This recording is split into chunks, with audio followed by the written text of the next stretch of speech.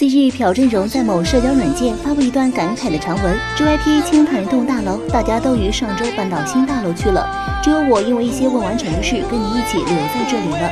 现在我也要走了。十七年前第一次看见你时，你是世界上最大最帅的建筑，难以置信现在要搬到别的地方去了。这段时间太感谢了，因为能在你这里流汗、流泪、高兴，追逐着梦想，托你的福。”这里诞生了很多为人们带来欢乐的明星，而公司的员工也增多了，多到你容纳不下。